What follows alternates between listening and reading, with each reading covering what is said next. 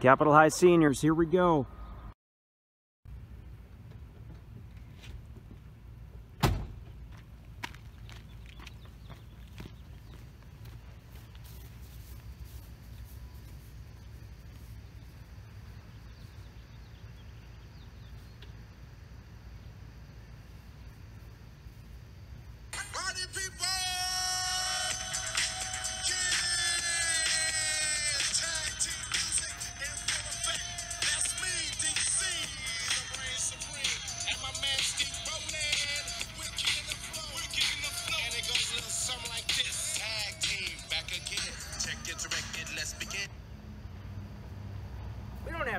Dancing. We got to get ready for graduation.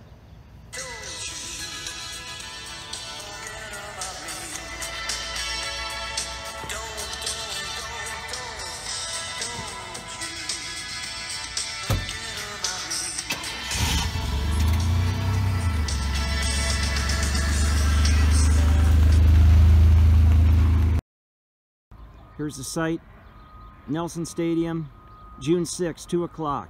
So welcome to the commencement ceremony of class of 2020 practice uh, presentation.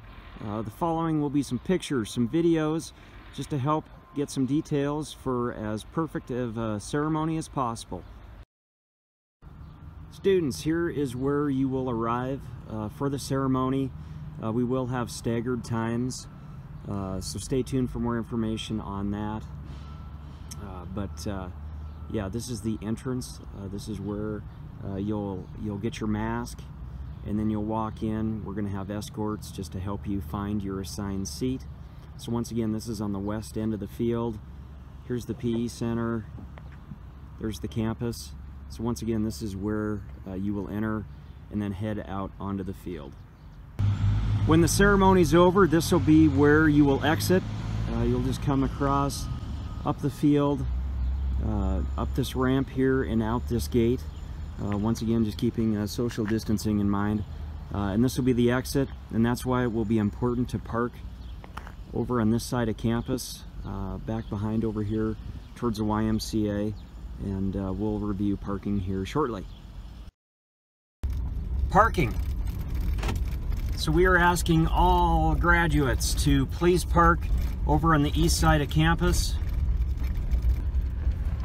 There's the YMCA over there. So graduates, uh, park over here and then walk over to uh, the west gate by the PE Center. Uh, once again, that's going to be the entrance. So there's parking spots over here. There's a lot of parking over on this side. Uh, this would be the south side of campus. So if you could please park here and then walk over to Nelson Stadium. Uh, that way we can leave all the parking at the PE Center uh, for family uh, and guests uh, of the ceremony. So, what is the price of admission to attend uh, the class of 2020 commencement ceremony of Capital High? It's free, as long as you are respectful of yourself and others. Graduates, you must wear your school-issued face mask, uh, which is pictured beside there. You'll receive that at the west gate when you arrive. Uh, why do we want you to wear a school-issued face mask? Well, one, it's to ensure that you have one, and two, it's to make sure that the mask is appropriate. Uh, guests, please remember that you have to have your uh, face mask uh, to enter, and uh, both graduates and guests must fill out a screening card, turn it in when you arrive. Uh, the graduates, you will receive those screening cards on Wednesday and Thursday of this week when you pick up your two guest tickets, as well as any other items.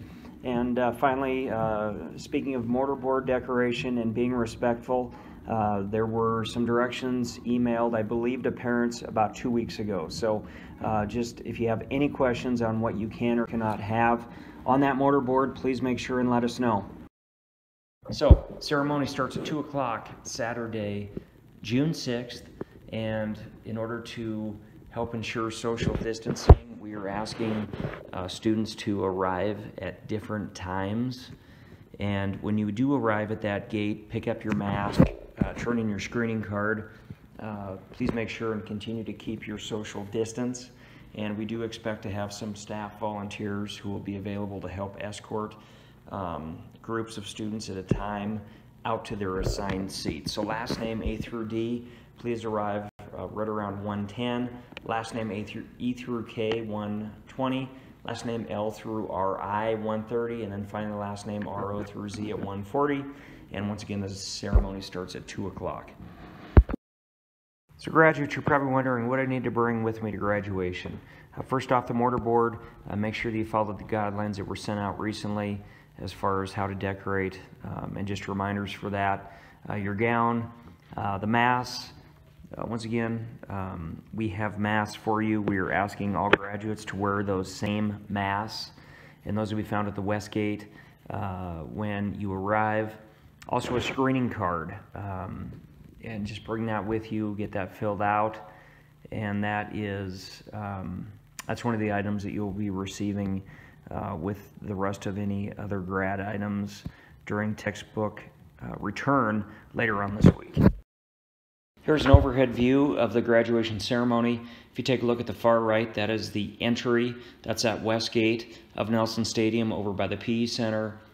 Uh, we'll have staggered start times to arrive starting at 110 based upon your last name. Stage is at the very top, so everything to the left there, we're just referring that to that as the left-hand side. And as you look at the stage, uh, then uh, everything to the right is the right-hand side. At the very bottom there, you'll see the bleachers.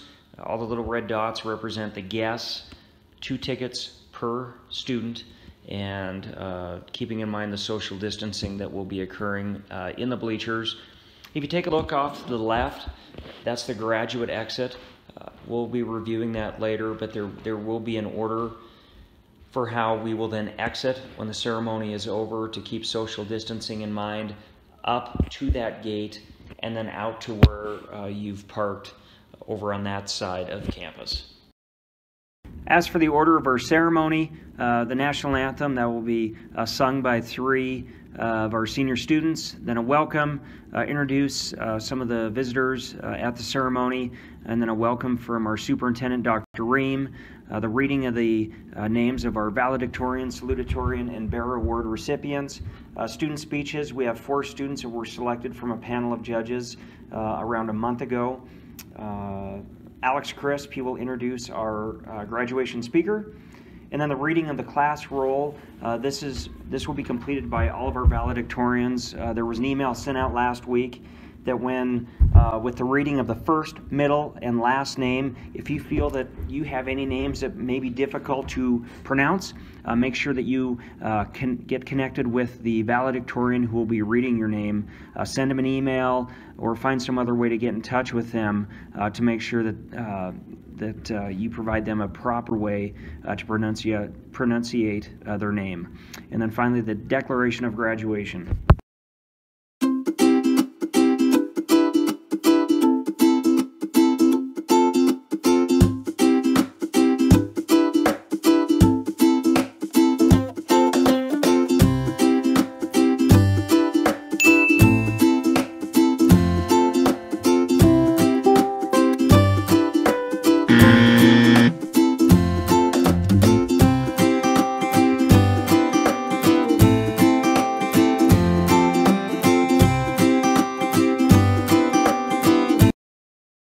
Okay, so after the declaration of graduation, uh, typically there's always the throwing of the grad cap or the, the mortar board.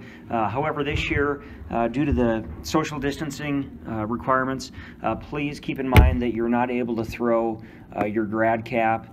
And the biggest reason is just within that grid that's that's going to be set up to create all of the distancing uh, between all graduates. Uh, if you threw your cap and it goes outside that area, you're not able to go retrieve it. Um, so just going back to the very beginning, the price of admission this year uh, is uh, free as long as you're respectful of yourself and others. So I realize it is a tradition with graduation, but uh, uh, just not for this year. All right, hey, good afternoon.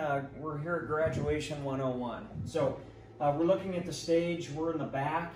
So this is the left-hand side. This is the right-hand side.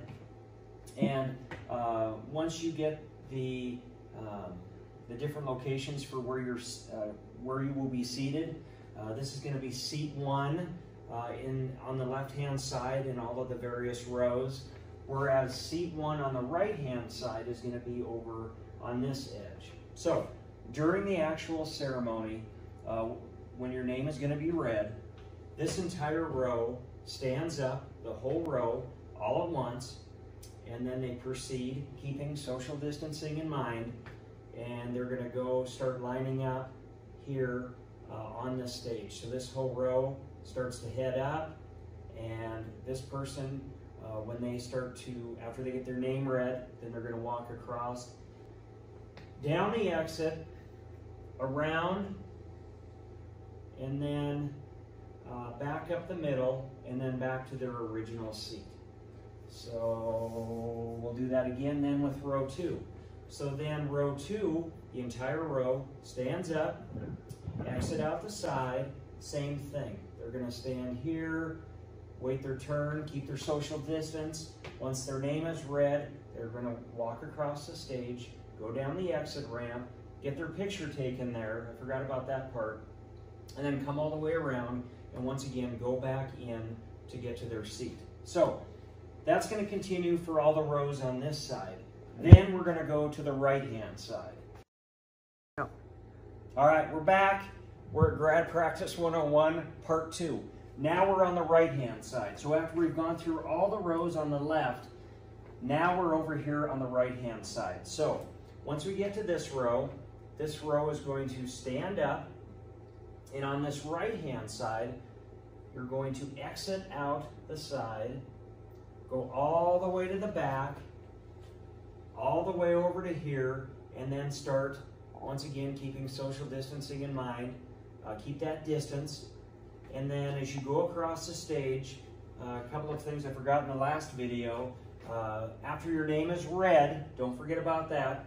Then you will cross the stage, pick up your diploma cover here, and then as you go across to the exit, uh, you're going to quickly get your picture taken uh, by a photographer.